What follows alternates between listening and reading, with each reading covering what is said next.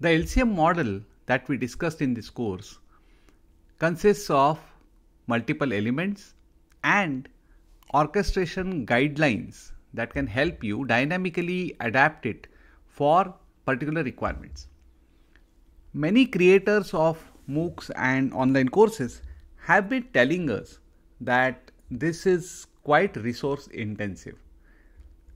Applying LCM model to a course, whether online or a MOOC or even in hybrid classrooms, requires lot of time, effort of the instructor, maybe some technology support, and overall it requires lot of resources. Therefore, the online course creators keep complaining that LCM model is quite demanding and therefore we refrain from attempting to apply it. We were thinking about these options a lot and all of us thought that why not kind of discuss this as part of our summary section of the course. Here is a reflection spot. Imagine that I am a first time online course creator or a MOOC creator. I will have learning dialogues to be created with reflection spots. I'll have learning by doing activities to be added for every LED that I'm creating. I'll have to provide customized feedback. I will look for some reference material that can be given at as LXTs. And I will also plan some discussion forum activities. All these have been orchestrated the way that I think would be meaningful to my learners. If I have to follow this process, what do you think would be the problems? Now, here, pause the video and list down what all could be the problems that you'll face when you have to implement this kind of course creation. Whenever you are done, just resume.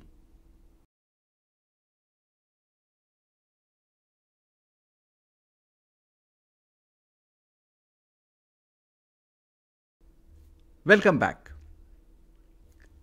I'm sure all of you have a long list of challenges. We have to think of a point in our script where we can introduce a reflection spot. We can write a summary, and that could be quite an exhaustive affair itself.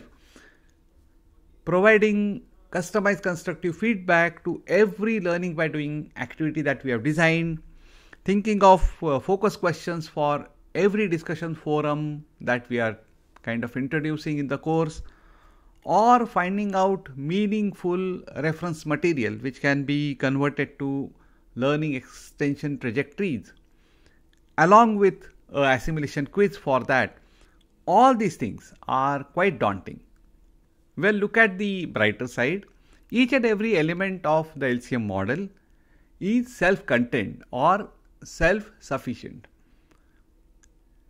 why do I say so? I say this because if you just look at an element like LED, a learning dialogue without the reflection spot could not be learner centric. But the moment I add a reflection spot after a particular point, then add a summary to cover all possible answers is actually closing the loop for me. Therefore, even if I add LED to my course creation, we realized that this itself will be a micro step towards achieving learner centric approaches. It is therefore we now introduce something called as LCM Lite. What is LCM Lite? LCM Lite is a process where you can add 1, 2, 3, 4 or all 5 elements of the learner centric MOOC model to your course as per the availability of resources and time that you have. There is one more factor that you should consider.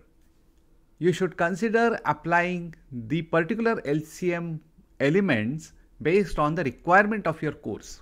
What does your content require? And to elaborate that, I will give you a few examples. Let's take an example of a course which is based on case studies. in this course, we can introduce lots of LXTs, which would be presented in the form of text or videos or audios or a combination of all of these, supported by learning by doing activities.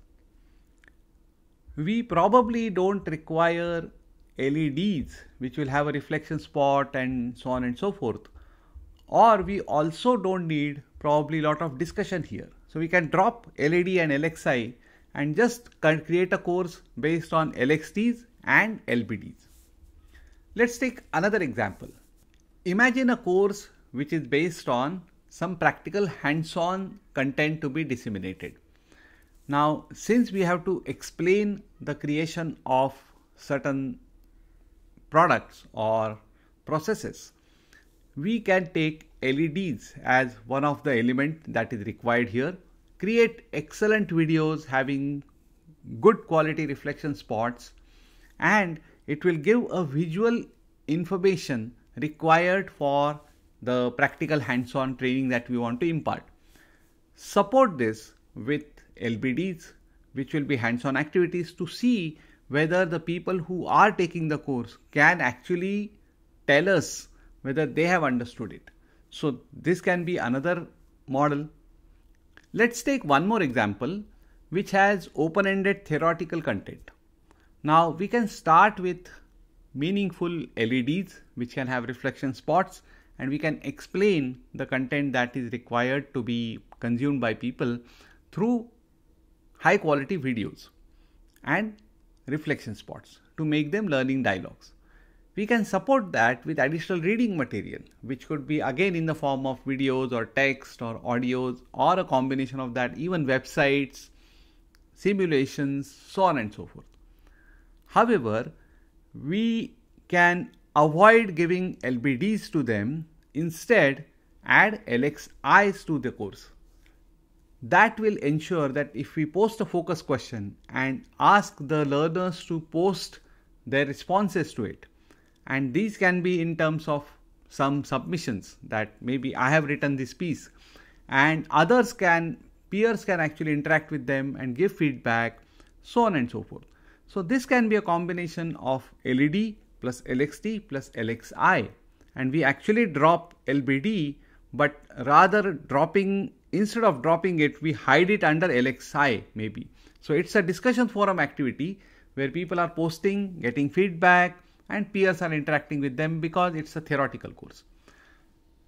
As you have seen, there could be multiple ways in which we can actually have permutations and combinations of the elements that are available to us and use the orchestration dynamics of uh, information about the course and the content to take such decisions we suggest that you explore the version of LCM Lite further and try to see if you can come up with ideas for implementing the elements of LCM model for creating your own content.